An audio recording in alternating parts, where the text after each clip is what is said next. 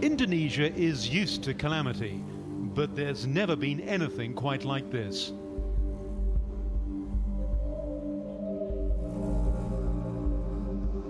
This mud lake in East Java is so vast, it has so far swallowed a dozen villages.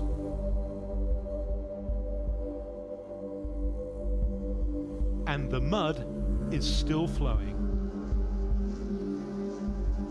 Ya sekarang kena lumpur nggak bisa tidur, memikirkan semua anak-anaknya itu bagaimana nasibnya. Dulu enak, sekarang susah. Suzy Ati, who has three children, lived in the village of Basuki. Her village was swallowed by the torrent. Itu rumah saya om, sudah kena lumpur, nggak bisa ditempati. Iya ini pondok.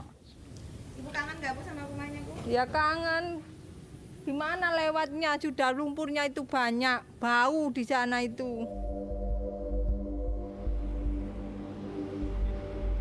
It all began in 2006 when the mud began erupting from the earth close to a gas drilling site. Experts remain divided on who's to blame. You're in no doubt that this was a natural disaster. Yeah, no doubt. For me, this is, a natural disaster. That view is disputed by a team of international ecologists, including Australian mud volcano expert Mark Tingay. Underneath that is a city that is completely buried. He says the mud volcano is the result of a drilling accident at a nearby gas exploration site owned by Indonesian energy giant Lapindo Brantas. There's no theory known to science after hundreds of years of studying earthquakes by which that earthquake could have triggered off the mud volcano. But Lapindo's vice president, Yuniwati Teriana, denies her company's responsible. We cannot accept that their, their finding because they, they, they, we also have an expert here that there is any correlation between the drilling activities and the mud eruption itself. The company cites a new scientific report that says it was an earthquake more than 200 kilometers away that was to blame for the mud volcano they call Lucy. While the debate rages, the spill has dictated a new lifestyle for the survivors. Many live in makeshift camps beside a now disused highway severed by the mud. And now there's more danger. Dave, a local cafe owner, is showing me what's now gurgling in his backyard.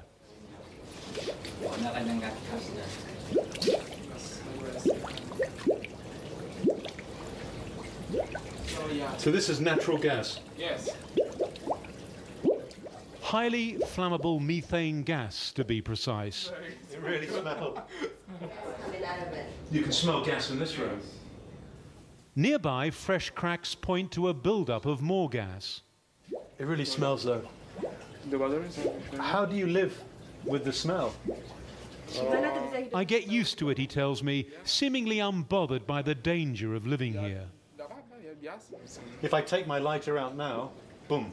Kalau saya ambil lighter sekarang nyalain meledak ya. Yeah. yeah. The area is now highly combustible. Whoa. Natural. It's the gas that's pushing the mud to the surface from a depth of more than 3,000 meters. But some survivors are making the best of these hazardous conditions. A makeshift stove captures the escaping gas. They don't know why there's now so much gas, but it's been that way ever since the mud volcano erupted. And it's been blamed for a number of recent explosions. There's really nowhere for a lot of people to go. Um, the area is, is considered dangerous and, and at high risk by the management agency, but These are people's homes, and people don't want to leave their homes. In a 2009 decision that many found hard to fathom, Indonesia's Supreme Court cleared the company involved, Lapindo, of responsibility. But it still ordered the company to pay compensation to the victims.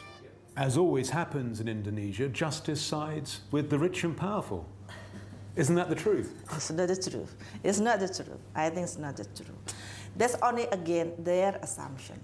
And the assumption that anyone at Lapindo should be punished is also wrong, says the company's vice president, Yuniwati Teriana. Has anyone at Lapindo lost their job or been reprimanded for what happened? No, no. We're still here. We still have uh, uh, our expert is still here. so no one's been fired. No one's been. Uh, no, one's fired. It's no fault. no, we still exist. Many victims are resisting Lapindo's compensation offer because it's conditional on selling their land and property to the company at a knockdown rate. But payments have stopped altogether now, with the company blaming financial difficulties. Yeah, we acknowledge about it. We acknowledge about it because of the situation of our financial problem as well. But actually, they should not worry about it because we still have a commitment that we are going to continue to uh, to settle our payment until finished. Environmentalists claim the company has got away with murder and that its executives should be put on trial. This is the largest uh, ecological disasters that we have been facing of. So it's the largest ecological disaster yeah. in Indonesia, yeah. but no that one's gone to jail? Yeah, exactly like that. It's complicated. No one's been punished? No one's punished. Lapindo is owned by Aburizal Bakrie, one of Indonesia's wealthiest men. At the time of the disaster, he was the government's Minister for Welfare. Today, he leads the Golkar party and is seen as a future presidential candidate.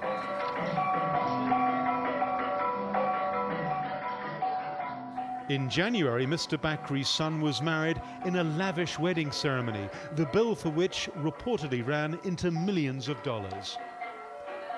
A few months later, money promised to the victims began drying up. Kenapa dulu menikahnya anaknya Abdul Bakri yang dimeriahkan? Oh, oh iya, dilupakan sama sama Lapin sama Lapindo. The company says the victims should stop complaining. If they are too forced with us, I think it will not work. So who's going to take care of them?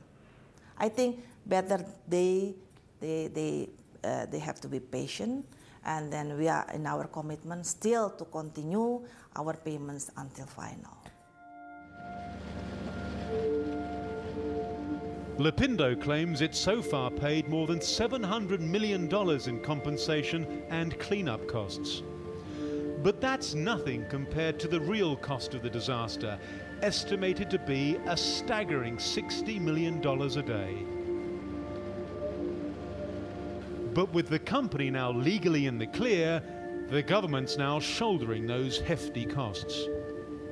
Total area is 720 hectares. Geologist Mohammed Sofian Hadi works for the government agency that's been tasked with containing and cleaning up the spill. A cleanup which has led to some desperate measures.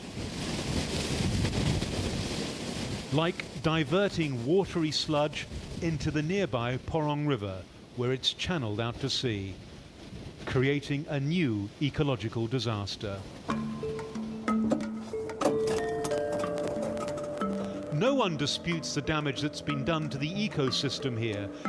Yet Mohammed Hadi is keen to show me how the government plans to turn misfortune to financial advantage. You can see the fish crawling in the top of the mud. Here, where the Porong meets the East Java Sea, the mud has helped to create an 80 square hectare island. Uh, we have a good dream about this. Uh, some uh, maybe someday in the future we build a new uh, forest of mangrove. We make a new uh, spot of tourism, like uh, fishing ground, like sport or skiing around here. Little comfort, though, for the victims who are still waiting for the mud to stop flowing. Years or 30 years, sometimes they said that it could be 100 years. Can you imagine about it? That's according to the expert. Because they are, this is very unpredictable situation.